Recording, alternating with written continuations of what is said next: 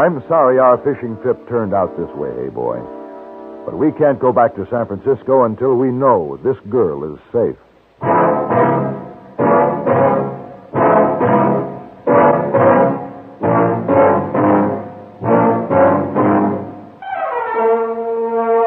Have gun. Will travel. Starring Mr. John Dehner as Paladin.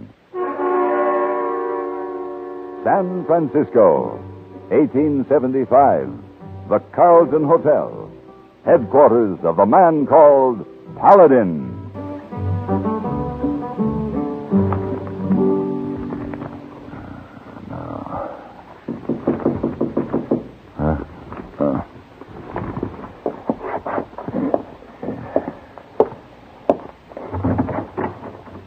Mr. Paladin? Hey boy. Mr. Well, what in the devil is all that you're carrying? Oh, is camping equipment. Uh, I come in, please? Well, yes, come on in. Oh, thank you. Gee. Oh. Yeah, hey, boy, tired. I don't doubt it, but why in the world do you have all that equipment? Oh, it's very necessary for a fishing trip, Mr. Paladin. Well, we certainly don't need all that. Oh, yes, sir. Man in store told hey boy he need many things. Oh, the man at the store. Hmm. Well, did you tell him that we were only going for one week? Oh, yes, sir. Uh, that uh, hey boy get time off from job that you promised to take me and that is very happy time. But may I remind you that besides two saddle horses, we're only taking one pack horse. Oh? Too much equipment, huh? Oh, much too much. Do a hey boy have to leave some? You'll have to leave a lot. All we need are a couple of saddle blankets, cooking gear, some fishing line, and a few hooks. Oh. And the rest is up to the fish when they see the worms. Worms? Yeah. Little wiggly worms? That's right. We use them for bait. Yes. Yeah, boy, not like little wiggly worm. well, there's one other way to catch fish, eh, boy? Oh, sir? How? Well, you find yourself a nice rock out in the middle of the stream, see? Hmm? And you crouch on it like a cat. And be still. Very still. Oh, yes. Ah, then what? Then, after a couple of hours, you might see a fish. And when you do, you take a deep breath, dive into that icy stream, and swim after him. Huh? If you're lucky and can hold your breath long enough, you may catch a fish. Hmm. Mr. Paladin? Yes? Hey, boy, use little wiggly worm.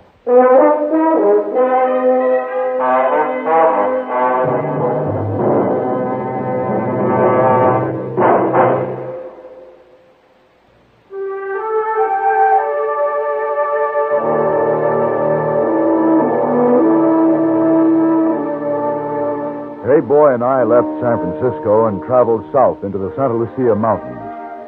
The wild beauty of this part of California was magnificent to see. The great jagged cliffs rising toward the sky and then suddenly slashing off and dropping into the crashing surf of the Pacific far below. The heavy, untamed forest growing to the very brink of the cliffs. We turned inland and rode deep into the Santa Lucias, searching for the mountain streams that would afford the best fishing. And soon we had a comfortable camp set up. The next morning, Hey Boy was up with the sun and standing on the bank of the stream, fishing. By ten o'clock, he still hadn't had a strike.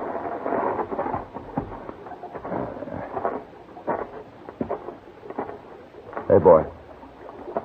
Hey, boy, don't you want to eat some breakfast? What? Hey, boy, catch catchy fish. Well, now, look here. We'll be here a whole week, and so will the fish. Hey, boy, use wiggly worm just like you say, boy. Still no catchy fish. Well, you know what I think? I think you've frightened the fish away, standing there staring at that stream the way you are. No, hey, boy, wait a long time to go on fishy trip with you. Now I catch a fishy. yes. What was that? Oh, sound like Our lady scream, Mr. Paladin. Come on. You there. Leave that girl alone. You hear me? I said leave her alone. You, you hit Carlos. kill. I will kill. Oh, no, you don't. Gringo. Dirty gringo. Mr. Paladin, he has knife. You will die, gringo, with a knife. Don't you try it. You're all right. Why do you harm this girl? I must kill her. You must let me kill her. I said, why do you harm this girl? Go. I go now. You will turn Carlos loose. Uh, you come back here. Come back. Please, let him go. Don't go after him. Are you all right? Yes. Yes, I think so. Who are you?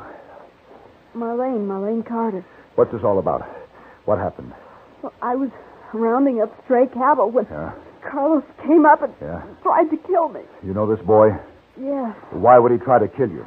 I don't know. He's, he's like a wild, crazy animal. How far do you live from here? About a mile. Hey, boy. Get our things together. We better see that she gets home all right. Yes, sir. Thank you, mister.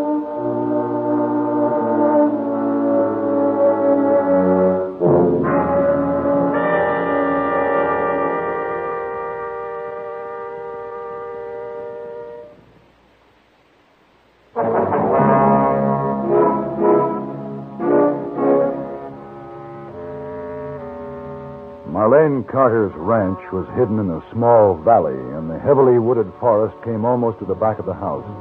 Its tangled undergrowth capable of hiding many things, its darkness lonely and sinister. We were met in the front yard by an ageless Mexican woman who was introduced as Toleta. Briefly, Marlene explained what had happened, and Toleta looked at me, her black eyes strange and piercing. Marlene insisted we stay for coffee, and after the first cup, Hey Boy went outside to water the horses. By this time, the girl had recovered sufficiently to talk freely. Toledo and I run this ranch by ourselves, Mr. Paladin. Just the two of you? That's right. My mother died when I was born, and my father died just last year. Toledo's all I have left. She's been like a mother to me all my life. But don't you have someone here to help you? Ranch hands? No. This place is a long way from any town, Mr. Paladin, Oh. and the men you can get aren't the most desirable. I hired a couple of men once. As soon as they found out Toledo and I lived here alone, they began to get ideas. Toledo had to run them off with a shotgun. Yeah, I see.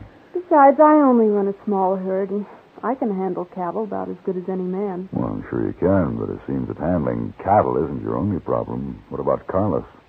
Oh, terrible, terrible thing. Who is he? Mr. Paladin, Carlos Martinez was raised right here, right on this ranch.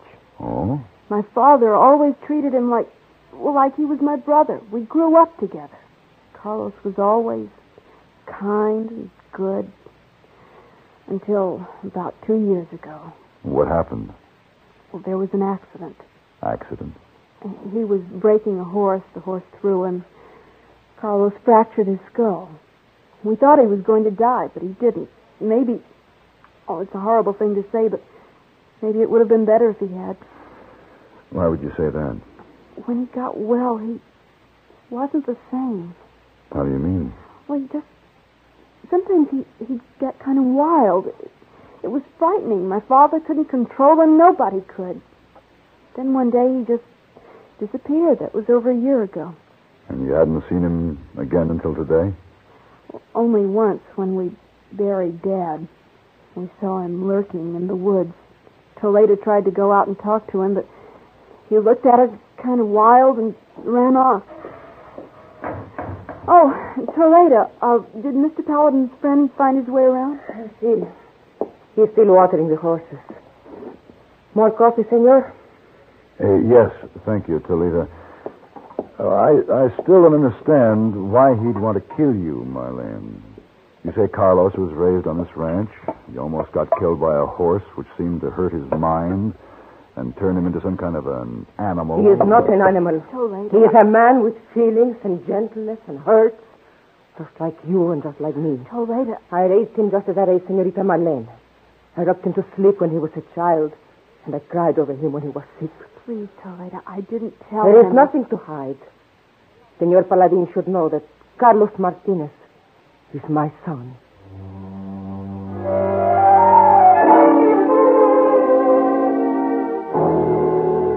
I sat and looked at Toledo. In her eyes, I could see the pain and torture. The heartache of a mother who has had to stand helplessly by and watch a thing she loves, a part of herself, her own son, turn into a savage. Without another word, she turned and silently left the room. I'm sorry, Mr. Paladin. I should have told you Carlos was Toledo's son. Well, I should have guessed. Ah, This must hurt her very deeply. More than anyone knows. Sometimes at night I hear her rocking in the chair on the porch, singing a little Spanish lullaby. The one she used to sing to Carlos and me a long time ago. Can't something be done? I mean, couldn't he be put somewhere and given treatment? Where? There's nothing around here, even if he could be caught. Well, what about the doctors? What do they say? All the same thing. Nothing can be done for him. Well, still, it seems that. Mr. Paladin. Mr. Paladin? What is it, hey boy? What's wrong? Big man, sir. Uh, one who tried to kill young lady. He outside. What? Yes, sir. I see him in woods back of house. He see here, boy. He run. Are you sure? Oh, yes, sir. Very sure. Come back, Mr. Paladin. What'll I do? I don't know. But I do know you and Toledo can't stay here alone. Do you have an extra room? Yes, I do. All right, then. For your protection, Marlene, Hey Boy and I are going to stay here tonight.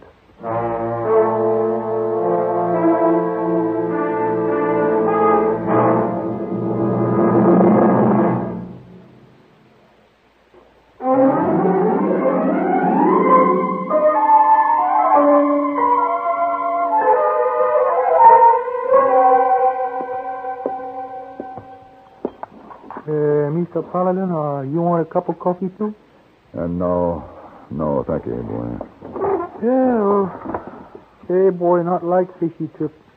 Want to go back to San Francisco? Yeah. I'm sorry it turned out this way, Hey Boy, but we we can't go back just now. Oh, somebody have unhappy doggy? No, that's a coyote, Hey Boy. There's a full moon tonight. So you'll hear a lot of them. No, not a good sound. Make here, boy, spine tickle. Yeah.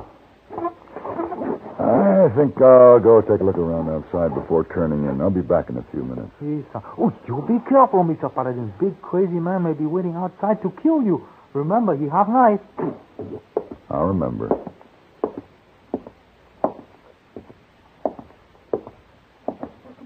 Huh? Oh, Marlene? I thought you were in bed. I was, but Heard Toledo. Toledo. She's on the porch again, rocking and singing. Come here by the window.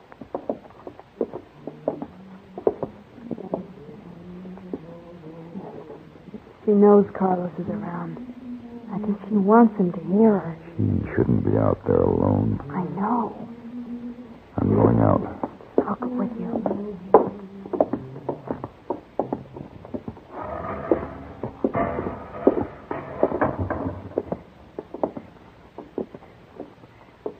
The is bright tonight, Toledo. He, he should be in bed, little one. And Toledo, you mind if I look around a little? I think it might be a good idea. I cannot control your actions, Senor Paladin. Uh, perhaps it'd be better if you and Marlene went back into the house. No. We will wait on the porch for you, Senor Paladin. Then we will all go back in the house. All right. As you wish.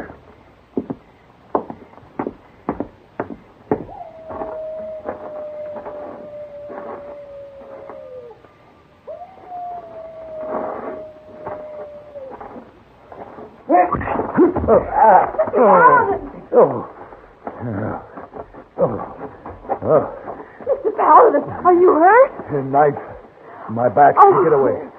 And get back to the house. No, no, I can't leave you. I told you.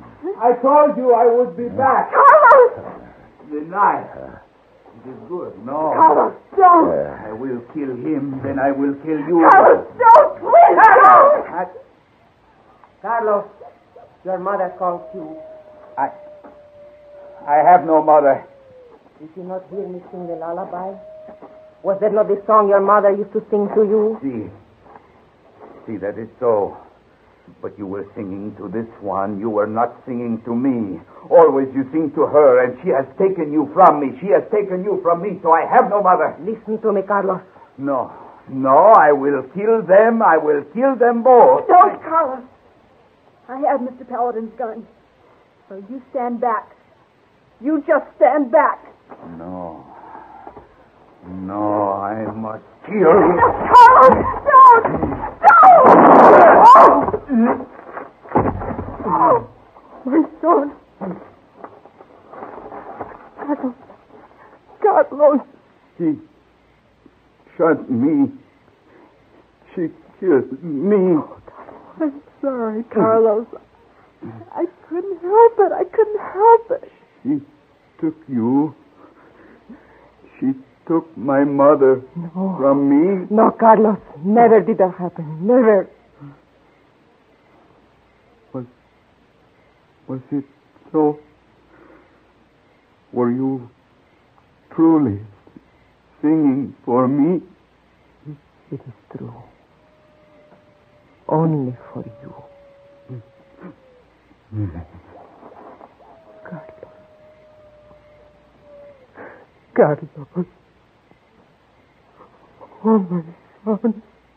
I'm tired. I'm sorry.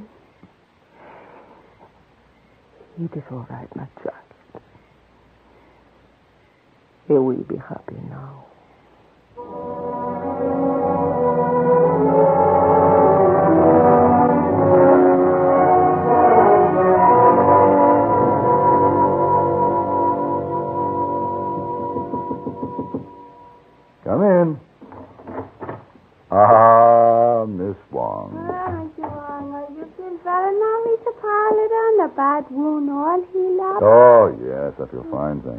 Doctor says I'll be up by tomorrow. Oh, you very sick when Hey Boy bring you back from trip. By the way, where is Hey Boy?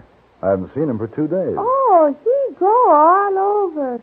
Try to sell camping, fishing things he bought to go on trip. Oh, I see. You mean he doesn't like fishing after all? no, huh? sir. Hey Boy say he never leave San Francisco again. He say too many things happen. Well, this fishing trip was a little unusual. Oh, yes, sir. Hey Boy also say it's too easy to catch fish. Too easy. Too easy. hey Boy said that? Yes, sir. He says he catch big fish first time he put line in water. Big fish. Big fish. How big? Oh, about this big. That big? That big. Miss Wong, do you know what? Yes, sir. Hey, boy, tell Missy one big juicy story. you are so very Oh, right. I remember something you said to me a long time ago. Oh, what was that? Sir. You say, use discretion. Uh-huh. So when Hey Boy talk about fish, Mr. Wong, let eyes get very large. Listen with mouth open. Ah, I see. Oh, Hey Boy have such good audience. He take Missy Wong for a walk in the moonlight. Oh, so pretty soon, you forget about fish. Miss Wong, Hey Boy may not know it, but he's the fish that swallowed the hook.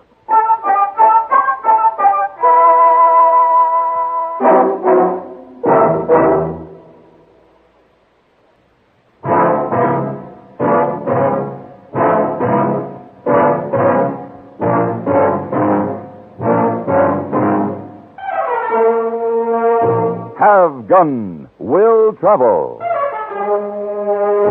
Created by Herb Meadow and Sam Rolfe, is produced and directed in Hollywood by Frank Paris and stars John Dehner as Paladin, with Ben Wright as Hey Boy and Virginia Gregg as Miss Wong.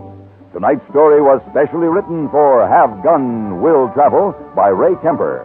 Featured in the cast were Ann Whitfield, Vic Perrin, and Lillian Buyeff.